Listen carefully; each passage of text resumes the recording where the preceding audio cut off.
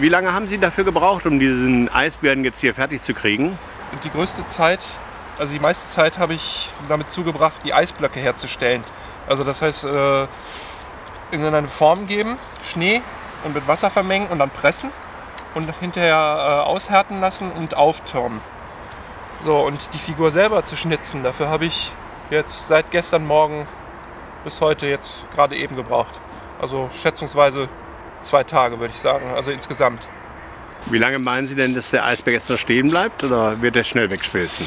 Ich würde sagen einen Monat oder anderthalb, ich weiß es nicht. Also es ist auch die erste Eisfigur, die ich baue. Normalerweise mache ich Sandfiguren. Und ähm, die, die gehen ja sowieso schneller kaputt. Und von daher habe ich momentan, was das angeht, keine Erfahrungswerte, wie jetzt sich Eisskulpturen verhalten in der Form. Und wenn es jetzt regnen würde, meinen Sie, dass durch den Regen dass, äh, der Schmilzvorgang wirklich schneller stattfindet oder weil es ja Eisblöcke sind, dass es etwas länger braucht? Ja, ich glaube eher, dass also mit dem Regen, da hat es eher zur Folge, dass die Oberfläche etwas lasiert wird. So, dann hat es eine etwas eisigere Fläche.